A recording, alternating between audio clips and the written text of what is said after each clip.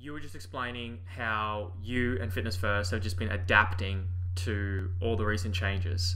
Please go on. Yeah, so once once COVID hit, it's really funny. We actually started a few things in motion before gyms went into lockdown at Fitness First, and we decided to put together a webinar series to help support our trainers. So, uh, I'm kind of on the other side of it today. I've been interviewing yeah. a lot of people in our webinar series lately, and we launched our first uh, our first webinar the day that the clubs closed. So we found out the night before clubs will be closing. Uh, we'd already had our first guest organised and we launched our webinar series that day. So that was probably the first thing that we did to adapt just to really support our trainers and support our team to get through what, well, none of us have experienced this before. Absolutely. It was pretty hectic for the industry. Absolutely. Yes. So we, we initially wanted to launch that for fitness first trainers. And then the moment that we locked down, we thought, you know what, let's open it up. So we just opened it up to the industry so that anyone could join. And it was really cool. We had people joining our webinars from around the world, really. We've had guests on from around the world. And we decided, well, clubs are back open, but Zoom's a great tool, as I'm sure you're aware. And yes. What, why can't we just keep this going and keep providing support? So that that's probably the first thing that we did. Uh, we sent out weekly emails to our trainers just with added tips on what to do. We took them through a step by step guide on how to basically adapt to what was going on, including mindset change, uh, including how to create online or virtual PT options, yeah. how to communicate with their clients, how to provide various options for them, and then how to have a bit of fun through Zoom and, and through online training as well. So we took them through all the steps to lead up to opening, and uh, here we are. Gyms are, are back open again. So it's a very exciting time. Yeah. I mean, I think it's interesting to hear you talk about this because I have historically worked in private facilities as a coach for many years, and my colleagues, they're the same. So we become quite insular and we have a bubble. And then there's the commercial gym sector, and that's its own bubble.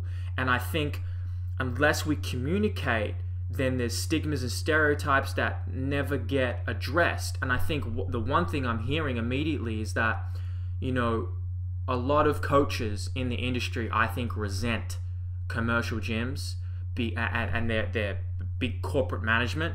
And one reason is, there's many, but one reason maybe because of the lack of mentorship or the lack of um, guidance and hands-on personal nature of trying to kind of empower and, and uplift and teach the coach. Um, but it sounds like, look, webinar series and um, trying to offer these through information through newsletters and stuff that seems like a pretty good start to rebutting that conversation.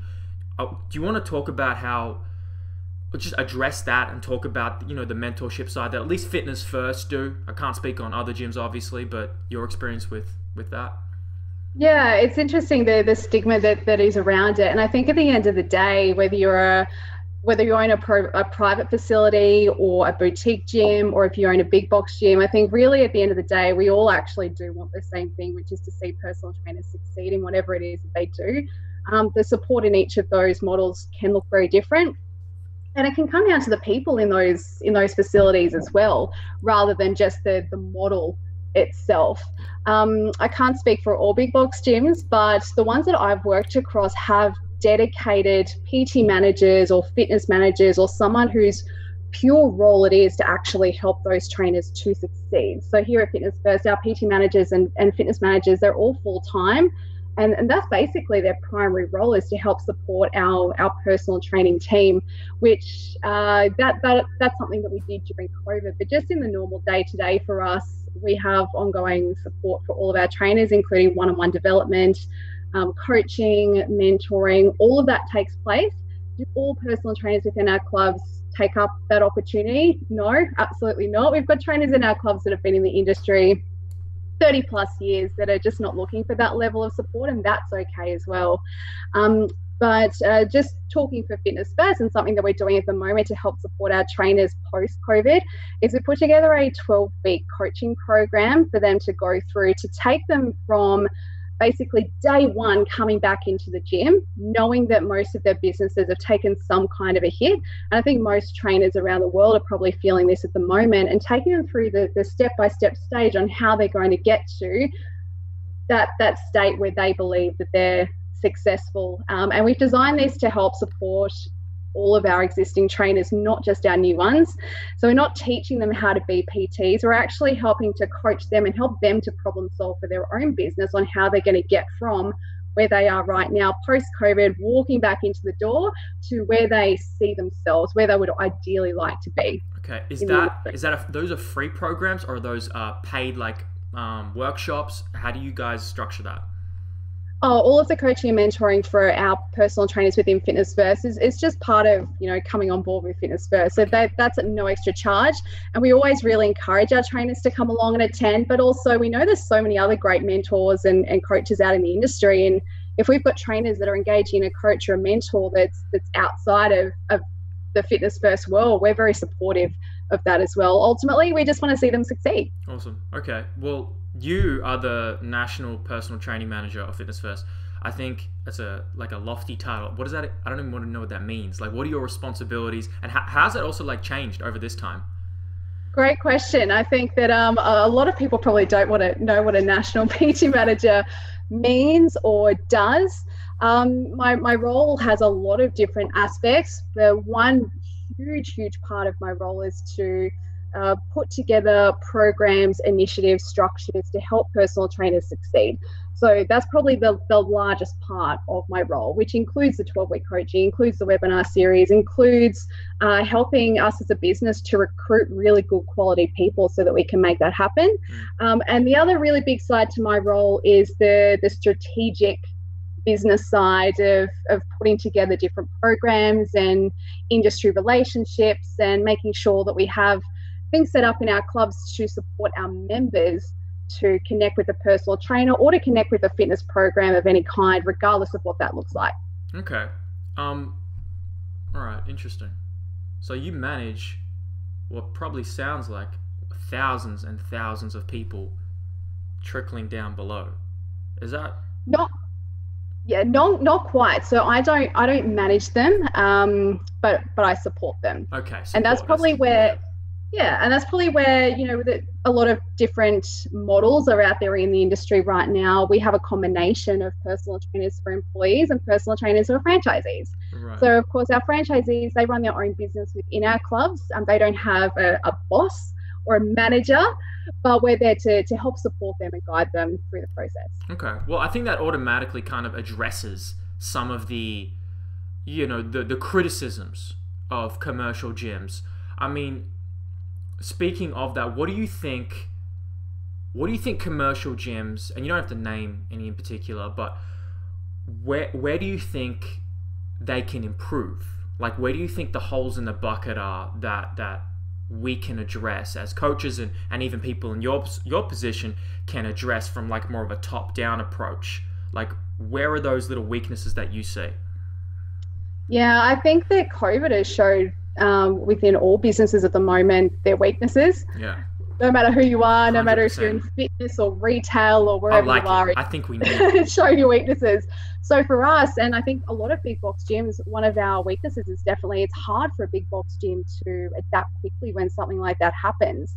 Um, there are a lot of really cool initiatives that small studios were able to do during COVID that we just didn't have the ability to do at that kind of scale and at the speed that we would have liked to adapt by perfect example um, was there were a lot of facilities able to hire out their equipment to their members mm. on day one of closing down. Now we got that up and running eventually, but a, a, facility the size of ours that that actually took us quite a number of weeks to get that up and running, but we did. So that that's probably one of the big areas where we can adapt. Uh, and I think not not just speaking for big box gyms in general, there's a huge opportunity for people to, if you're in a management role or a leadership role, to kind of step out of your office and get into the club so that you get a really good understanding of what's actually happening on the ground because you know they're, they're the people within the business that are, are really dealing with the members they're dealing with the day to day they're the people who um, really should have a, huge say in in what needs to change and what needs to that within the business. So that's a huge opportunity as well. Okay. for people to spend more time on the ground with the people in club seeing well what what day to day in the business looks like. Yeah and would that come into a role of like a uh, a floor uh, like a gym manager floor manager? Not so much i'm forgetting the exact word for it but back in the day um, there would typically be the the coach who would walk around you know coaching and, and giving advice to all the members that would be his or her role to manage all the members. It seems like in a lot of gyms now it's more just your coaches renting space and coaching their own clients or coaching the clients from the commercial gym. Does fitness first like how common do you see that is that does that exist within the fitness first model or do you guys prefer we let our own coaches coach their clients or do you have like a, a floor staff who's going around coaching members because that's that's a criticism i've heard previously yeah, it's, it's it's interesting that you say that because fitness first as a business, we've actually been through this huge evolution where we've kind of gone through all of those stages. Yeah. We've experienced all of it, and, and the model we've come up with now is what we believe works best for us within within our four walls, but might not work the best for other businesses. But we back way back in the day when I first entered the industry, I started my career at Fitness First as a personal trainer, where the only option was to become a franchisee. So, as I mentioned earlier, you're running your own business within the club, um, and there's so many huge benefits to that. You know, you get to work your own hours, you get to choose what you want to charge, who you want to train. It, it's your business, and you get to run it within a club with all the, the support of having a, a full membership base and a PT manager to train and, and develop you. So that that's the model that I stepped into when I first started many many years ago, way back in the day. Uh, then, as a business, we evolved and we started to bring on gym instructors. Yes. So we still have the franchise model, but then we also had a gym instructor. Now, the idea was for the gym instructor to kind of learn the ropes doing what they're doing on the gym floor with the hope that they'll want to progress to become a franchisee further down the track.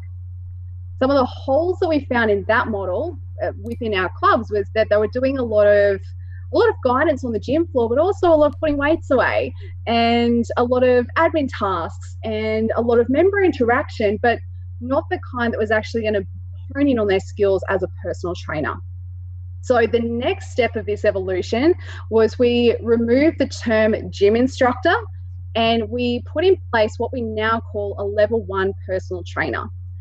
That way, I think the title in itself helps to, I guess, shape what that role might look like. But our level one personal trainer is a role that exists within the business for up to six months. And after six months, they get to choose whether they want to become a franchisee with us or whether it's not for them, and that's okay as well. But the role of our level one personal trainer as an employee is that they're actually functioning in, in our clubs as a paid personal trainer.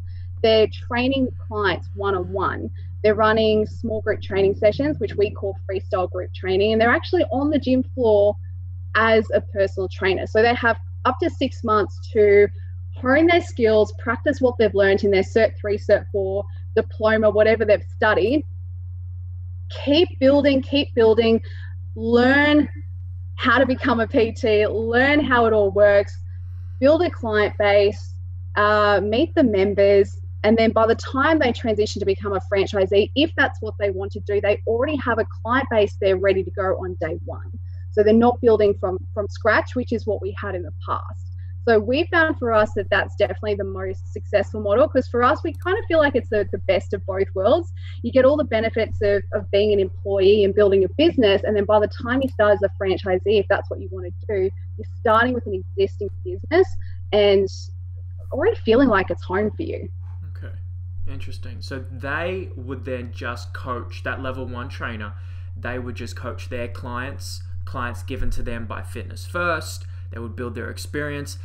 Would they coach members, or is that role of the gym instructor more redundant now? Uh, within our clubs, it's a little bit more redundant, but we, you know, of course, they're going to be coaching members. They're there to support our members, but the huge benefit of in doing that is it's really the best way to get clients right? Is right. To, to show someone your worth and your value and just what you can do to to help them as a personal trainer is probably one of the most successful methods that we find in our clubs is in between those clients and in between those freestyle group training sessions is just to go out on the gym floor, chat to people, support members, and and that is often what leads to the next client. Is that part of their responsibility, or is that more of a this is what you can do if you want? Yeah, so of course, part of the expectation is that they are there to support the members, and we are very much member centric. As you know, members have to be the biggest focus of our business because without members, we don't exist, right? Right. So that is definitely a huge part of their role. But uh, we've definitely gone way, way, way away from the days of uh, you are just a glorified cleaner. Except I have to say, post COVID, we're all digging deep and, uh, and doing a lot of sanitizing and and cleaning of the gym floor. So right now, I think we're, we're all part time cleaners at the moment. No, absolutely. Temporarily. but it sounds like then it just it sounded like the gym instructor role, at least in fitness first. Well, one, it sounds like it, it already exists in this hybrid role. But what I hear from, I guess, some people, I don't know what, what gyms are associated with, is that maybe they don't feel like they're, as a, as a client or a member, they're not getting that service, that kind of gym instructor service. Do you realistically think that that exists, like enough members can really feel that uh, guidance from this le- these level one personal trainers, or do you think it's kind of too uncommon to for them to really you know get a feel for it yet? Uh, that's a tricky kind of question. I'm uh, trying to phrase it. Do you kind of get what I mean? Yeah, yeah, I kind of do, and I, I do think that we have a, a, high level of support there. Can we do more? I think everyone can always do more. Okay. Um, our freestyle group training, which is our small group training platform, is actually part of the membership, so they don't pay anything extra for that. So that's a, a really great way where we can funnel any members that do need that extra support that don't want to pay for personal training, can't afford personal training. It, it's it's basically like personal training, but in a small group and that's run by our level one personal trainers. So that's probably where we have that opportunity to provide that support. Okay. Um, for the the comment that we sent you from Andrew Garwood, because we want full transparency. Like we love that. So we just want to have yeah. open, honest conversations and dialogues.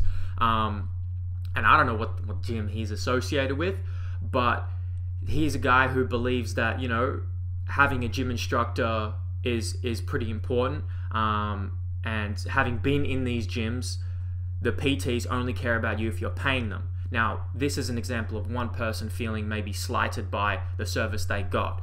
How how do you how would you address something like that? And what do you guys have in place to kind of you know work through people who might feel like that? They just feel like they're a number, and that's a trouble about these big gyms, right?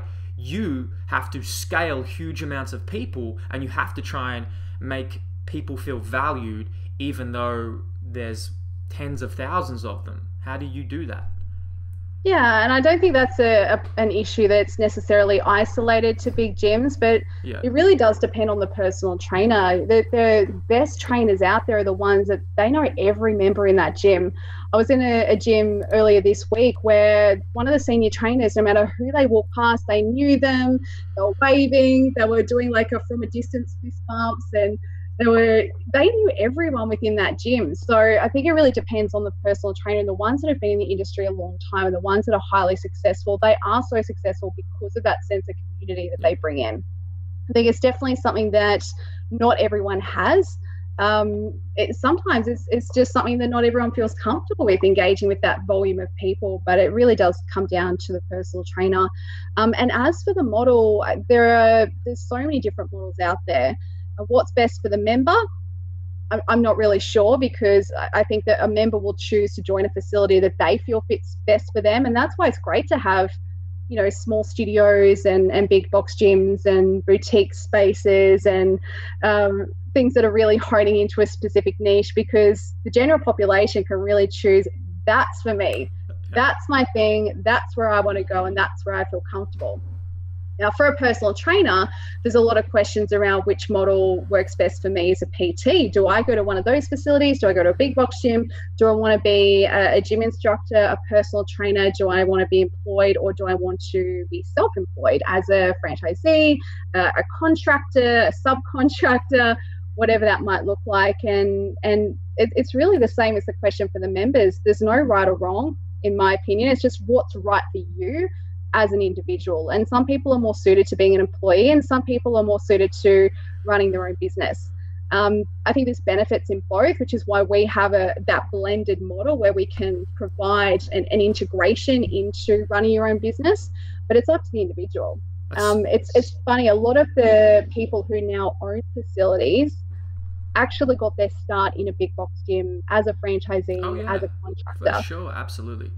Yeah, so I think that the huge benefits to doing that is that if you have a goal of wanting to run your own facility, or whether you want to be in management of a facility, it's a really great opportunity to learn how to do that in a space that's full of members, full of support. If you've picked the right the right place, you've got you've got the support there, you've got the members there, you've got lead generation opportunities where you can develop those skills as a business owner and as a personal trainer so that when you go to launch your studio or gym or, or whatever that facility might be like for you, you're in a much better position to succeed than if you just come out of Cert 4 and you're trying to do it straight away on your own without that experience there. Um, which which isn't the goal for everyone. Some people got into this industry because you know they want to study to become a physio down the track, and this is a part-time thing. Mm. And for them, that employee model might might be perfect for them. Or maybe this is on the side of you know a psychology degree that they already have or maybe this is a part-time thing just because they enjoy it and they like being fit and healthy themselves and they did it more so for their own knowledge so i think it really comes down to the individual yeah and i think you made a great point where you brought up the fact that look, there's never been more options for a person to seek out the type of environment, type of coaching and service they want. And so if they're not content or with the service they're getting from whatever box gym, then they can seek boutique gyms, they can seek private facilities. There are so many options, but your model, the the uh, fitness first, that works for a lot of people too. And so I think just even acknowledging that gives people the I don't know, just the the the sense of clarity that oh yeah, that's that's right. There there are so many options. Commercial gyms are not the only one, but they work for a lot of people too. Yeah, and I think what we have, it's almost like a try before you buy kind of option for a PT. Is you start off as an employee where you know you've got six months to see is it for me is it not and if yeah. it's not if you we definitely have trainers at the end of that who go you know what i think being an employee is right for me mm. and then they'll look for opportunities within that space which, which we support them with as well what do you because you i think and you think another good point you made is about the character of the of the person right of the coach of the personal trainer and that being like the determinant or big determinant to the service that members get and so you have, if you have bad people with bad character, you can get a bad service. How do you guys, I wonder, how do you guys vet like the, the coaches and trainers? What are the standards that you see um, and that you kind of set? Great question. So I think first of all, you definitely have to start a lot of this back in the in the interview process to make sure you are finding the right person. And, and with our two models, if you are an experienced trainer in the, in the industry, you can elect to become a franchisee straight away. And as an experienced trainer, you're going to have references. You're going to have train, um, sorry, clients who can vouch for you. You're going to have a track record in the industry. And if you're brand new, starting as a level one personal trainer, that that's kind of where we can find out a lot more about you and whether you're suited to the model. Um, but then once they're in our facilities and working within our facilities, that one on one coaching and mentoring from the PT manager or fitness manager can really help shape them. Mm. And that's what coaching and mentoring really is. It's not about changing a person, but it's about helping them to get the best out of themselves. We obviously saw something in them in the interview process, and now we want to really help them to mold that in to help them become the personal trainer that they can be to succeed. Mm whether it's within within our facilities or outside our facilities. So it sounds like that first six month is is really like the the breeding grounds to test them to see if they're really a good fit and how far they can go. Yeah, and hopefully we, we've found that out in the interview process. And quite often that starts before the interview, where where students are coming in for work experience and work experience is also very much where we find out whether someone's going to be a good fit for us or not probably more so than the interview process to be honest in some in some cases um, but once they've started with us we can just help them to hone in on those skills and and normally both parties at the end of that six months determine whether it's a good fit or not we we determine uh, with the trainer whether it's a good fit for them. And sometimes both parties agree that maybe it's not the right fit. Um, most times it is, which is great because we, we hire them for a reason because we saw something special in them. Do you sit down? Have you sat down often for those interviews in the past, or not so much? Yeah, yeah, I love interviewing. Okay, well, well, oh, of course you do. In that case, you would have seen so many different people, right? You would have seen all spectrums. Oh, yes. What do you think? I'm sure you got some stories, right? Do you want to share any off the top? Maybe not. Maybe that's a private conversation. But do you? What do you see as the commonalities between the best coaches and trainers? Like, what character traits do you see they possess as a human being in person, skill set wise as well, that separate them and give them a point of difference? It's a good question, and there's a few, and some of them we can see in the interview process. Others we don't see until they're they're in the gym and they're working with us. Uh, one is you absolutely have to be good with people. It is a service-based industry. If you don't like people, this is not the industry for you. Yep. That's the biggest one. Um, above and beyond anything else. The second one is to to own your shit, Mm. your own stuff. So you need to if you if you succeed or if you fail in anything you do in life, own that and own your part in that because most of the time it's based on your actions and what, what you've been able to do. And that's that's really a huge, huge thing. Trainers who if something doesn't work for them and they self-reflect and they go, okay, how can I do this better? And Can they I want to do you there? better. Yes. I'm curious. Uh, I don't like interrupting people's train of thought unless it's something I get like a little thing. um, but do you have a moment? I'm sure you do. We all do in your career where you had that moment where you, uh, like a failure moment where you're like, man, I messed up, and you had that point of reflection. Yeah. I've had many of them. Do you mind sharing one of the ones that maybe come to mind that you're comfortable with? Yeah, sure. Um, and sometimes it's not a, a moment as soon as it happens. Sometimes it's down the track as well. But I look back to my first year as a personal trainer, and there's so much of the stuff that I did then or believed then that I look back on now and think, oh my God, what was I thinking? Like so what? just as an example, there was a point in time where, as a new personal trainer, I was one of the only females in the gym. I was one of the only female trainers in the area, which the industry's changed now, which is awesome. Mm. But back in those days, you had to really prove yourself as a female trainer. It was hard. People would always ask, "But why would I train with you as a female? Why would why would I hire you as a female? You're going to have to work so much harder as a female to prove yourself. So I felt the need to go out there and, and absolutely smash every client, no matter who they were, no matter what their goal was, no matter you know what their body shape was, no matter what their background was, no matter what their stress levels, their sleep, their nutrition is. Everyone was kind of treated the same. Was I needed to work them to the point where you know, I, I at one point thought that them throwing up was success Right. and I was almost proud of the fact. And I, I went to someone one day to say, "Oh, I had an awesome day today. I made four clients sew up." And I think that was the moment for me. I was like, "Hang on, is that what I see as success today? That they threw up?" Yeah. And that was probably a really big turning point for me, where I thought, "Okay, that that's that's not right. I need to I need to find out." more about my clients. I need to find out more about them, what they need, what they want. Um, and it probably sparked a lot of education for me as well. Going to courses, workshops, and I've always had mentors around me as well that have helped me to to become the best version of myself. So I've really leaned on them to take the next step. And and from that point onwards, I don't think I had too many clients are up, or if they did, it was not intentionally. Right. That's very look. I appreciate you sharing. That's very honest of you to say because um, that uh, that's a point of insecurity and that's a point of criticism that I think has been common throughout um, this industry. Is that the stereotype for a lot of traditional personal trainers, at least in the previous decades, especially, is that you didn't get a hard workout in unless you made someone sick or if they're sweating profusely, right?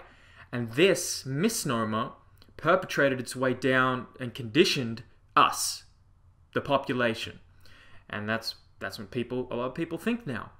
But now it's like a reconditioning like you you don't have to sweat a lot or throw up to make an effective workout. Just like you don't have to eat until you're full to satiate your nutrition requirements.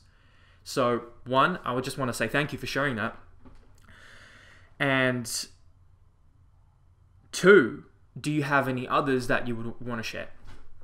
Or is that the Any other yeah? Any, any other? other learning learning moments? Uh, there's another one that I would have to say um, is not so much a learning moment with a client, but more so for myself as a PT. And unfortunately, I, I've seen so many trainers go down a similar track to this, and it's probably something that's really important to be aware of. Is that you as a trainer need to look after your own health and fitness as well. Yeah.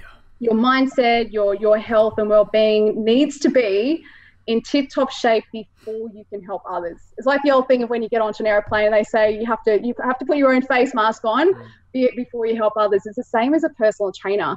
And and I went through a period. I think I was I think it was probably my second year in the industry where I was not doing that.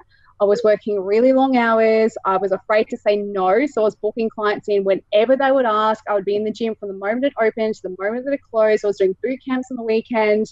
I was doing everything that I could possibly do. As a result of that, I wasn't sleeping well. I wasn't eating well. I wasn't hydrating, and I, my stress was was up to here. As a result, and this is a huge learning point, it's definitely not something that happens to everyone, but I actually know of two other trainers that this has happened to.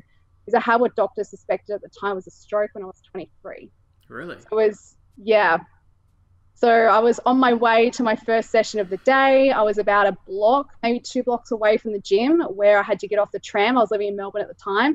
I had to get off the tram um, call an ambulance and uh, i was taken off to, to hospital. So for me as a trainer that was a huge huge turning point in my career where everything changed. Absolutely everything. Where i had to reflect and go you know what? This is on me. I did this to myself. I really did and things needed to change, which was spending more time managing my business better, managing my sleep better, prioritizing those things. And off the back of that, surprisingly, my business improved. My clients got way more out of me. Funny that. And uh, I got more time to myself. And looking back at it, I'm like, why did I not do this earlier? Wow. Probably because I was scared. I was scared I would lose clients. I was scared that people wouldn't. I don't know. I, for some reason, I thought that I had to work that hard to be successful. I think it's a, that's another thing we're conditioned to, and I don't think it's bad. I, I for, not for a second do I want to like demonize working hard, but I think um, people almost trick themselves and they fall into the to the the rat race, right? Instead of making a conscious decision to deliberately work this and this and this and work on this and they're, they're just following the trends they're just oh i see this girl or this guy do this so if i need to get there i need to do the same thing did you find like you you just had to like follow that trend and that inertia of the industry Um, I don't think so. I think it was just me. That was just a hard work. I think that was something that, that I just had within myself because, you know, the, the word hustle wasn't really a thing back then. It That's- certainly yeah, is now. that's a good point And people, yeah and people really do think sometimes that you need to do that to yourself to be successful. But really, at the end of the day, I was able to achieve an even better result in a very different way. It was better for me and better for my clients. So hard work, absolutely. Every trainer, trainer needs to put in hard work, but but looking after yourself still needs to be number one. yeah you can do both Yeah. you know you can work hard on your on your business and your clients and on your own health um when you were on that tram what and you had what they suspected was a stroke what, what did you feel what was the symptoms Um, I noticed that when I was back in those days, it was you, you had to put the coins in the machine to get your ticket. I was trying to put the coin in the machine and my arm wouldn't work, and I kept dropping the coins. And then I stood up and I realized that half my body had gone numb and I couldn't feel it. And so I called my mum, and she's like, "You might be having a stroke. Get off the tram." And I was like, "I'm Nah. not having a stroke. Don't be silly." And then my speech started to slur, and Oh. yeah, you might have had an Yeah. actual stroke at 23 Yeah, they couldn't actually find a clot, so it's still down as a suspected stroke. Um, but they think there's a heap of contributing factors. Yeah, You- burnout being a huge one of them. Yeah, you learnt a very hard lesson. I think do, I often wonder whether people need to experience like these really hard lessons in life to learn them. I mean, and to really create change in their life. Or do you think, I mean, you're in a position of, of leadership where you can be like, no, guys, this is my story. You don't have to make the same mistake. Or do you act, or do you think, a part of me thinks that, you know a lot of people have to actually go through some involuntary suffering. Like, do you, how do you think about that? Well, it depends on the person. I'd like to think that by sharing my story, people can learn from it and go, you know, whoa, that that's actually not only possible, but also to know that I'm not the only trainer this happened to. I know mm. of two other trainers that have gone down this exact same road with suspected strokes. Wait, wait, wait. they had, oh, really? Just yeah, yeah, and both of those were also in their 20s. So it's actually this this stuff happens, and it might not be that. It it might be just mental fatigue. It could be the outcomes of of the stress you're putting on your body can be huge. But yeah, I, I hope that people can learn from peer other other trainers sharing their story around what what's happened for them so they can learn and they can grow. I also hope that people who are surrounding them can help to identify when when something's not okay or something's off and be able to have a conversation with someone whether it's their their coach their mentor their club manager their colleague whoever it might be. Um, some people may may unfortunately and I, I, really hate to say this but some people don't change until they experience yeah. some hardship themselves and that's just the harsh reality of life. Yeah, yeah, it's scary. But um, I, re- I just recall you talking about earlier. You know, as a female trainer, you it sounded like you felt like you had to prove yourself. You know, exercises and physical activity and lifting weights is typically a, a masculine-dominated uh, activity. Um, you could say, and especially back then. And so like I think you come with an interesting position where you have been coming up over you know, it sounds like over a, over a decade through this, and you would have seen and experienced all different types of behaviors and trying to, uh, you know, find your place, you know, in the industry. Who am I in this industry? And especially as, you know, back in the day, you correct me if I'm wrong, but it didn't sound like there were many female trainers at all. How did you, you know, think about even discrimination uh, against you know females in the industry and how that's changed and like how you're trying to address and communicate that stuff now. Did you experience that back then? Was that not so much? Yeah absolutely. And, it was everywhere. You'd, you'd see it if you went to a course or a workshop you'd be treated differently. Um, you would see it sometimes the way that you were treated by members would be different. I, I, one day had a member that came up to me and told my client in front of me, "You shouldn't be training with her because you you can't train with a female. Females don't know how to lift weights." And yeah. and that was in front of a client. I was, I, I think I think we are on the bench press at the time, and interrupted that to have that conversation. So absolutely. What is that moment when you're in that moment? Like that's that's a moment where some people just they just quit. They just be like, "I'm done with this. Like I'm sick of this." What was your? Where did you go mentally? Um, I respond to those things with a bit of an fu kind of attitude, where mm. I, am normally like, "Let me show you why yeah. I should be here. Yeah. Let me prove myself to you." Yeah. Um, so back then it was it was hard, but I'm really happy to say the industry is a very different place now. I we have clubs where half the, the trainers are female. I'm so excited about that. I go into Cert 3, Cert 4 in fitness classes now, and in a lot of those classes, half of the students are female that makes me really excited. Um, you don't have to be this this hard ass woman to to succeed in the industry now. You can be soft and gentle. You can be pre and postnatal. You can be someone who focuses on mobility. You can you can be all these different things and be respected and succeed. So that's something that excites me so much now is that what I felt then is not what I feel now. Is there still some of it out there in the industry? Probably but it's it's nothing like it was back then. So the the future in fitness for females at the moment, it's it's an exciting place. That's awesome. Um, what would you what would you t- as coming from the, the as a female perspective? Do you have any specific suggestions or advice for the young female up and coming personal trainer and coach? Uh, first one is just be true to yourself. Don't try and fit into the shoes of what, what other people think that you should. So don't try and, and be exactly like someone else. You are an individual, be true to yourself. And, and then, secondly, there is a place for you in this industry. You just need to find it. So I, a lot of people give up really early because it's hard. It is hard, and succeeding in any industry is hard. Anything that's new is hard, but just just stick with it. Do it your own way. Find your own place. And um, yeah, I think the industry will be better for it. How do you think someone finds their own place? You know, this this extends now to everybody, males, females, whatever you are. Um, yeah, how do you find your own place in this industry? Um, I think one of the good things about COVID, because there have been opportunities in COVID, is people Absolutely. have had a lot of people have had a lot of time to reflect. They've had so much time to reflect. I think that in itself has really helped. So people just need to reflect and think you know, who am, who am I really, and what do I value, and what do I want? Who do I want to serve? Uh, and even if you haven't had that time, it's it's a really good opportunity to ask yourself those questions. And, and how does that relate to you within the fitness industry? What kind of trainer do you really want to be? Not just that you saw something on instagram and it looked cool and i want to do that but deep down what trainer do you really want to be? Who do you want to train? Who do you want to serve? Um, and find people out there in the industry who are doing that Okay. Because sometimes you might have this really cool idea and say, but everyone in my gym, they just lift heavy weights, or everyone in my gym focuses on transformation or weight loss, or, but I want to do this cool thing and I don't know how to do that.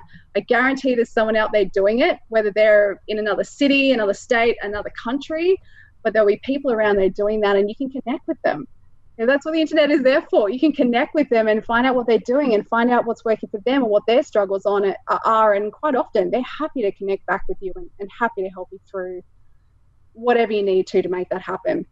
And then probably the final bit that for me has really helped me was just having a coach or a mentor, which it, it doesn't even have to be a coach or mentor within the fitness industry, but I think it is important, especially as a new as a newcomer to the industry that you have someone that you can bounce ideas off and that can ask you those hard questions so you can reflect on yourself and and decide what you want to do who has that been for you who's been a particularly you know powerful mentor and influencer for you over your career I've had many over the years, I have to say. So, when I very first started at Fitness First, at the time, it was my PT manager.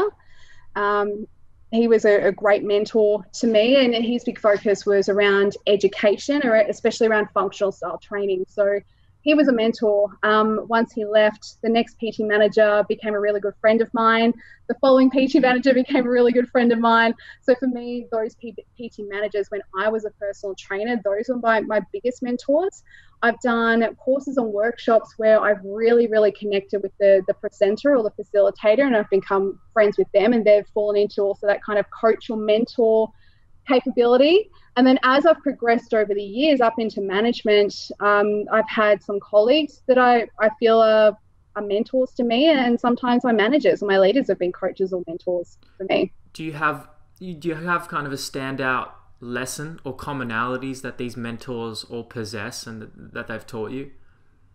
Um, probably something they all possess is that they all they're all doing their own thing. They've all got their own stuff going on, but at the end of the day, they all wanted to see me succeed, hmm. which is really important to me. So that that would be one thing. Uh, and a really good coach or mentor can see through the facade that you're putting out there, and and can see what's really going on underneath it, and can help you to dig deep to find that. Hmm. Yeah, to figure out the real purpose and why behind what you do and who you are. Yeah, well, sometimes it's I know for me it's just to call me out on my stuff. Like one yeah. of my biggest one of my biggest weaknesses is I don't like to ask for help, and they call me out on that. Yeah. They're like, you know, you, you need to get over that. So it's it's great to sometimes have those people in your life that can see it before you do. That's so true. And help you to overcome it. Ha- that, that's I, I resonate with that. You know, um, not asking for help, you feel like, I mean, you might feel different, but at least for me, you feel like you don't want to burden any. You, one is like you don't want to burden anybody, but then it's like there's an autonomy thing where it's like, well, I can control myself. If I can control myself, then I'm like I build that integrity and that self-efficacy where I can trust myself to handle situations without relying on other people. I think that's a part of it. Do you resonate with that, or is it different for you? Um, yeah, probably. In part, yeah. yeah. yeah, I do, and I think everyone's got their own version of that in some way. Absolutely. Um, well, let's backtrack to where where this conversation came from. It came from, you know, trainers and coaches, the interview process, and the commonalities in the strengths that you see people and their point of difference. And the second thing you said was they they wear their failures, I believe. Um, was that was that, am I accurately saying that? Yeah, yeah, that's pretty much right. Yeah. What? Please, I want to continue that conversation. What are some more points of difference? Because there's a lot of coaches, and you know, we're just in full transparency. Orphic obviously partner with Fitness First, you know, as a referral organization. Um, so there's obviously bias, but there's still a lot of help that we can have through this conversation, and that we teach personal trainers to become personal trainers, and then facilitate them over, and you guys may take them. Um, and so a lot of them are going to be listening. So, do you have any others for the young personal trainers and coaches that you've seen that are stand out in your interviews that you think people should model, mimic, and try and become? Yeah, yeah. One one really big one is that uh, as personal trainers, quite often we can have our own agenda, and everyone, of course, has their own agenda of what they want to what they want to do. There was an interesting study done many years ago, and it was actually done within Fitness First clubs. It was run by a guy called Chad Timmermans, and the study was around why do clients leave personal trainers. So these are people who have started training with a PT and have left that trainer for whatever reason. It was really interesting because the the reason that they had initially told the PT and the, the reason they initially told told Chad was the, the typical things that we hear within the industry it's usually time or money or family or work it's the typical reasons why someone will, will stop training with a personal trainer. But the real deep down reason once he kept digging for most of them was that what they wanted didn't align with the agenda of the personal trainer. So they wanted something specific out of their training, but the trainer wanted something different for them. So those two agendas had not aligned. So someone who is able to put their client 100% first and what they want and what they need before their own agenda, that makes an incredible personal trainer. So an example of this is hmm. that if you as a trainer are training yourself, if you're a bodybuilder, awesome. That's you through and through. That's what you love to do. You have a client that comes to you that says that, well, actually, I'm not really a fan of lifting big weights, but I really want to move better. I just, I just really want to improve my function so that I can, I can. Maybe this is a, an elderly person who wants to live longer in life. Now, if that trainer then puts them into a bodybuilding program because that's what they like as a PT, that member is not going to stay with them because that's not what they want. That's not that's not what's going to keep them there. But if they can adapt and give the member what they actually want and need, as opposed to what you as a trainer would prefer to give them, you're going to have so much more success. And maybe over time, you can start to take them through some more weighted exercises and show them the benefits of that. But you've got to get their trust first. So that's just a, a bit of an example as to how that can play out and the difference between putting your agenda first versus putting your clients first and just being on the same page, which really end of the day comes down to communication and back to those people skills, doesn't it? Yeah, no, exactly. That's that's a that's a great point, and I think it's a it's a big mistake that a lot of early trainers make. Um, with talking about the communication aspect, the the skills, it's like after you say like if if you don't like people, it's probably not the industry for you. What do you think are the biggest, most powerful skills, more softer skills like communication skills that people need to work on as a personal trainer and coach? Yep, um, people and communication is definitely one of them. Emotional intelligence is huge in this in this industry, and it's a really hard thing to learn. Mm. But being aware of it, I think, is really important. Understanding different personalities. There's so many different uh, ways of doing, whether it's personality profiling or there are many different methods out there to to get to understand people better that's going to be a really big key. And I know it sounds simple, but probably the one of the most important things that I learned as a new personal trainer is listen more than you speak, because it's not about you, it's about your client. They're paying for your time. It's not your session, it's their session. That's a really big one. Yeah, and you see a lot of, or you hear about a lot of coaches and trainers who will, uh, they'll spend more time talking about themselves, about what they did, about what's going on in their life. It's like a time for them to vent onto their client and you're laughing because you've probably seen it. Oh yeah, I think we've all seen it. How do you?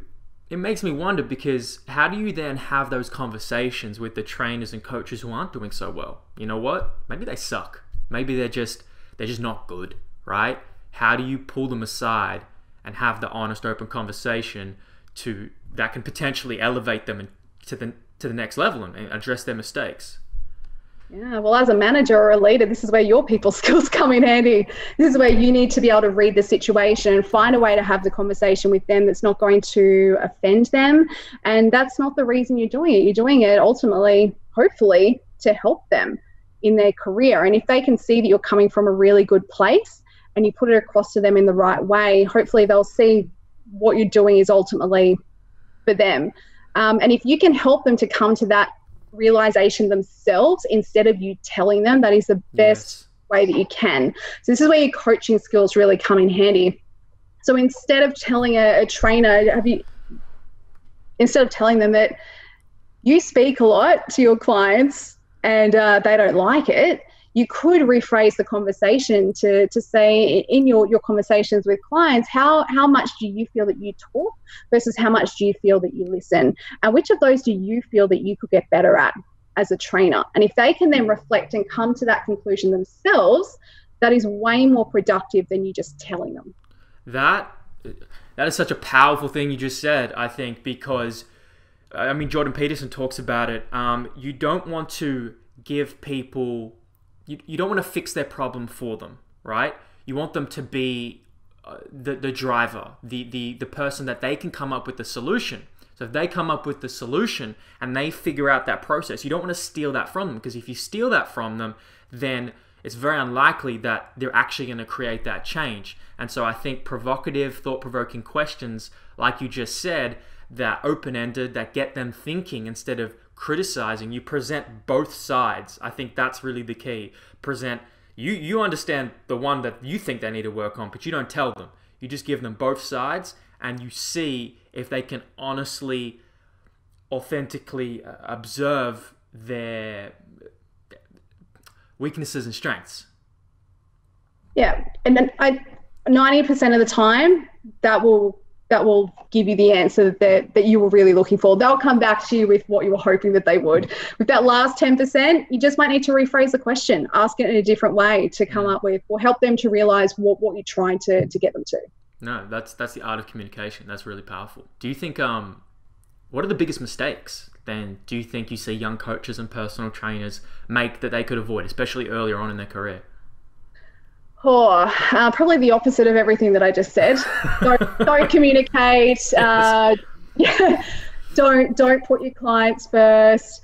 Uh, a few other mistakes that I, I see is that um, people, a lot of people are waiting for someone else to do the work for them instead of them being able to do it themselves. The, the opportunities to grow as a personal trainer are huge if you're open to looking for them. I mean, there are people everywhere that could use your help. But if you've got blinders on and you're just focused on you doing your own thing all the time, you, are going to miss all the opportunities that you pass every single day.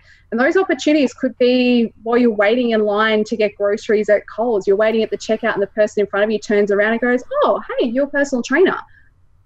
Here is an opportunity for a really good quality conversation that could lead to a client. Or you could say, look up from your, your phone and say, Yep, and then go straight back to your phone. Mm two different ways you can look at that. So I think that's another one. Education is huge. And no matter how long you've been in this industry for, there's always more that you can learn. You're never going to know everything there is to know about this industry. So at no point do I believe a trainer should stop educating themselves. And yeah, there's courses out there, there's workshops out there, and, and yeah, most of them cost money, but there's this thing called the internet to look for this stuff for free. Oh, guess what? Guess what we do every single week? Free conversations with some of the best health professionals and people like yourself across the world. Ah. Oh.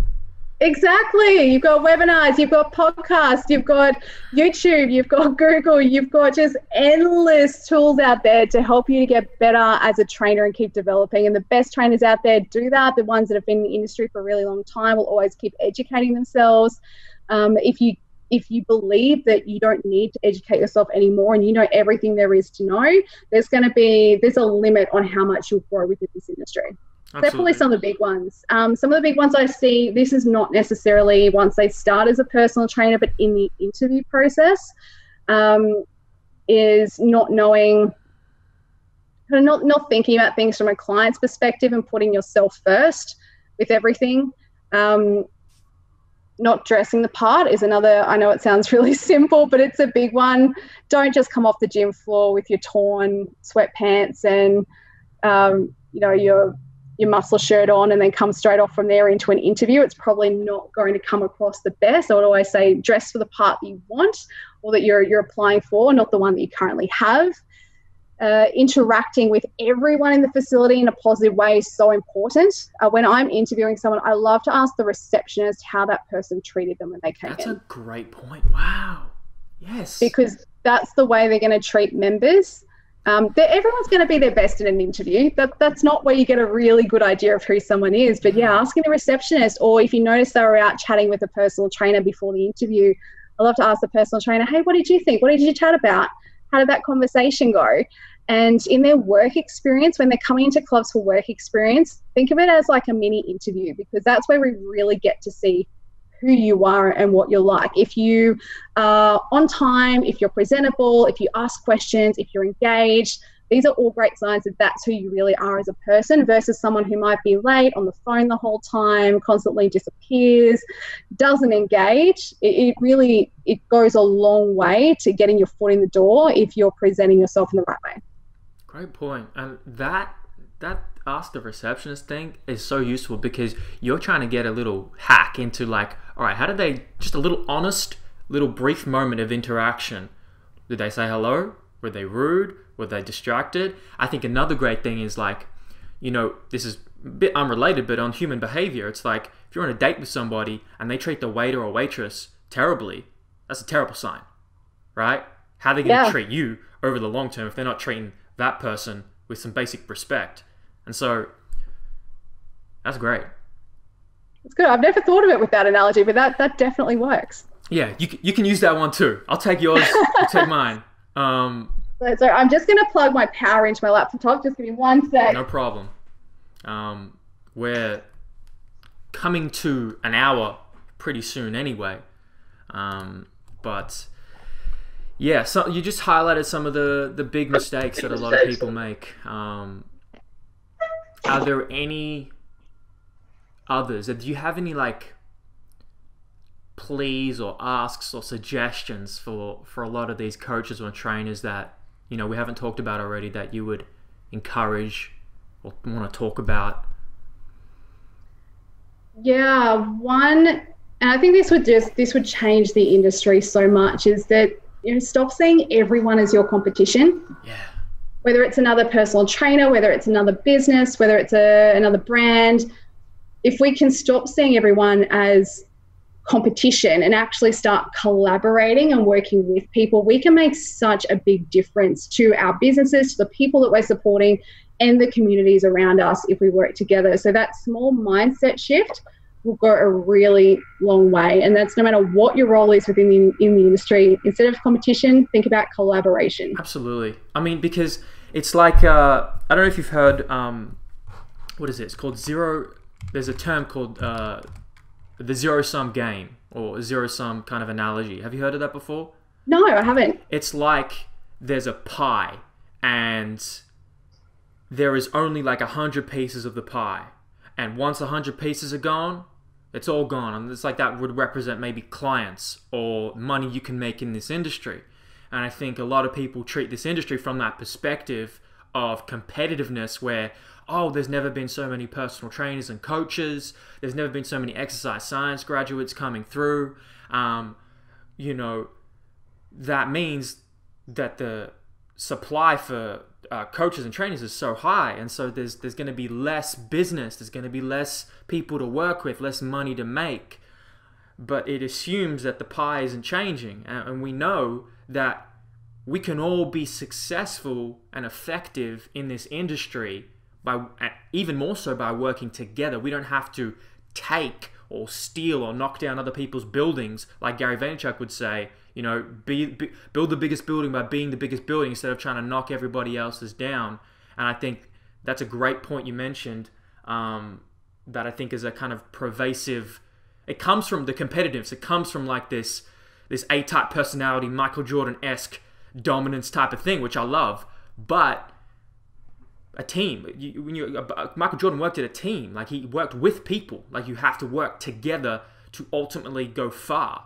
So I just wanted to comment on that. If you have anything to yeah, say on that, I love that. I love that analogy, and there really is enough to go around for everyone. As a the, the population is is not getting any slimmer. No. They're not getting any healthier, no. and it, and it's growing. So the, the opportunities are huge. And post COVID, some of the opportunities right now is that there's a lot of trainers who have been in the industry for a while who kind of fell out of love with it a while ago. And COVID has probably helped to give them the prompt that they needed to to move on. And there have been a lot of trainers who have left the industry.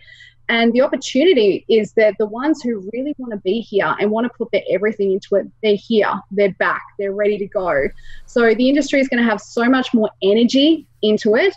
And it opens up the door for all of our new people coming through Cert 3 and Cert 4. There's now a new wave of fitness professional coming into the industry.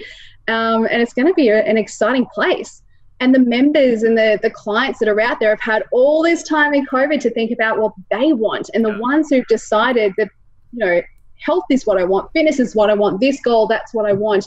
They're coming to you as a client knowing that they want this rather than you feeling like you need to convince them of it. Yeah. And the moment that our doors reopen, I know a lot of businesses felt the same, is we, we weren't really expecting in the first few weeks many sales and, and we were just inundated. Really? by people wanting to join. Of course, there were members who who've, who've moved on during all of this, but we had an influx of people that wanted to come in and use our facilities, and we weren't expecting it. But how cool is that? There's so many people that through COVID have said, "No, now is the time I'm going to get my fitness back on track." Well, here's the thing that none of these health authorities on the TV are talking about. I know Joe Rogan talks about this all the time, but we're going to talk about it right now. Why do we we, we say all these things about masks, sanitization. You, you, you, we see all the time, you know, closures and lockdowns and this and that. But why aren't we talking about to, like how improving one's health dramatically could dramatically minimize the effect of our healthcare system and this virus and all future viruses and, and bacterial infections? Um, why, why don't we talk about that? Why don't we talk about having a conversation where, hold on, maybe like an allied health professional, physiotherapist, they can stay functioning. They are an essential service. Well, hold on. Why aren't personal trainers and coaches? That's that's prevention and that's being proactive by using that service instead of being reactive. So how do we get there? Yeah, I think the, the question or the, the conversation needs to start with us. It needs to start within the industry, and we need to start sharing that message. And the more that we, we do that and the more that we speak up, the more people are going to listen. Good well, hopefully this conversation has illuminated um, some of that. I want. I, I, think that's a thing that people also didn't expect. That I, in the circles that I'm hearing that I'm in, you know, they expect a lot of commercial gyms to dramatically suffer in this time, and it's true to an extent. When you're closed, you're closed, right? Maybe there's not a lot of pivot positions that a commercial gym can go to um, to keep the members paying whereas maybe private facilities can move a little quicker because they're more mobile. Um, but to hear the influx of people seeking out your services, I think would would surprise some people. Um, because especially, I wonder, do you a lot of people investing in their own equipment, building their own home gyms? Is there any way to quantify like how much even that has affected commercial gyms or fitness first? It definitely has, but I don't think that's necessarily a negative thing. That's awesome that people want to prioritize their health and fitness.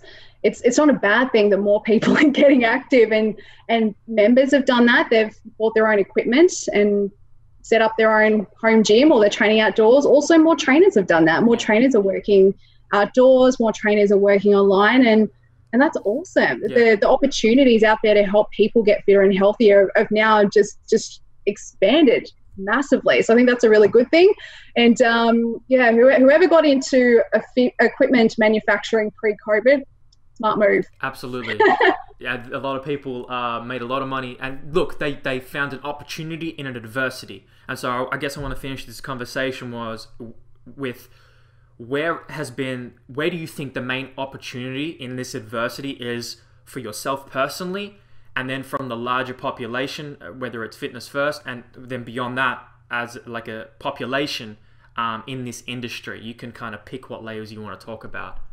Oh, there's a, a lot of things to think about there. All right. So for myself, personally, I see this as an opportunity to try new things, to pivot, and to support our trainers in a different way, which which we're doing every day. So we're learning, we're evolving. We've learned so much through all of this, and we would have never done some of the things that we've done if COVID didn't happen.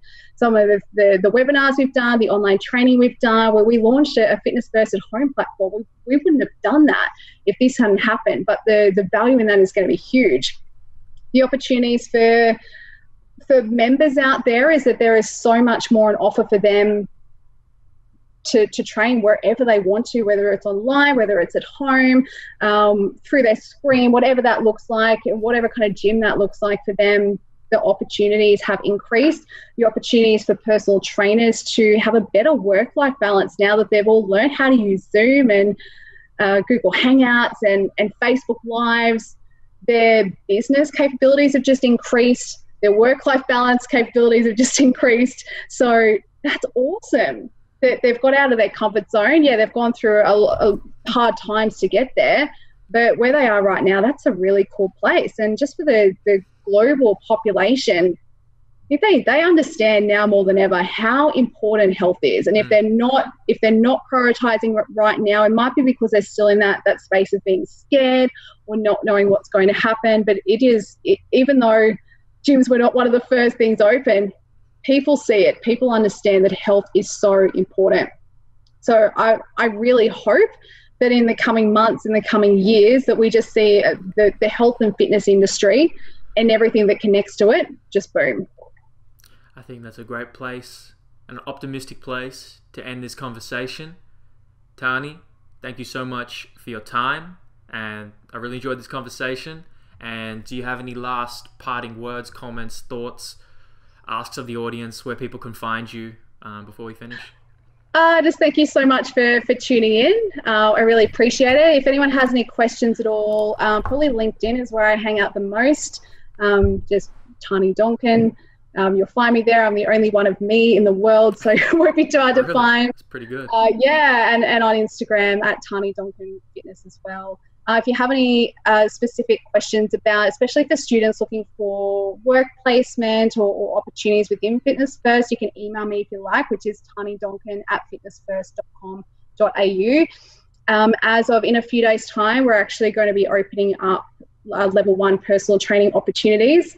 Yay, we're recruiting again. We're super excited. So there, there's going to be a lot of opportunities across Brisbane, Gold Coast, Sydney, Canberra, and Melbourne. So um, next few days we'll have some adverts out, and uh, anyone who's already completed their Cert three and Cert four and is looking for just even to find out more information, hit us up.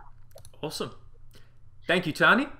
Thanks for having me. I really enjoyed it. Awesome. Appreciate you coming on and taking the time. Thank you. See you next time. All right. See ya.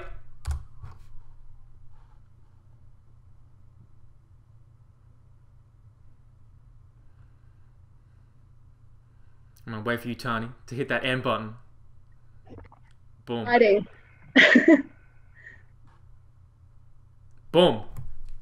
All right, guys. That's uh, that was that was a that was a good conversation um, better than I anticipated. We went off into a bunch of different topics um, that were quite resourceful.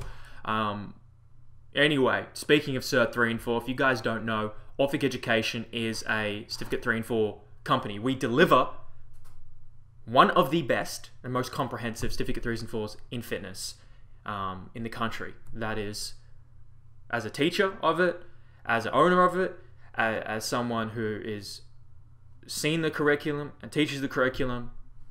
That is my biased perspective. So if you want to be a part of that and you want to become a personal trainer and coach, get onto us as soon as possible because we're having our last practical intakes for the year. In the coming weeks, from Sydney to Athletes Authority to Bodyseek in Melbourne, um, peak is just uh, is, is just about to start um, in South Australia. So if you're interested, get onto it. Otherwise, we do this every week. Webinar Wednesday, Orphic Education. We talk with fitness professionals, health professionals, people from all over the country trying to have open, honest conversations. We've talked to a lot of people Um, you can see at orphiceducation.com forward slash webinar Wednesday uh, exactly who we've talked to and who we're going to talk to next. We've got Steph Lowe next week who we're going to be talking nutrition, nutritionist. I'm really looking forward to that conversation because nutrition science is a big topic of interest and conversation and, uh, you know, uh, part of my profession.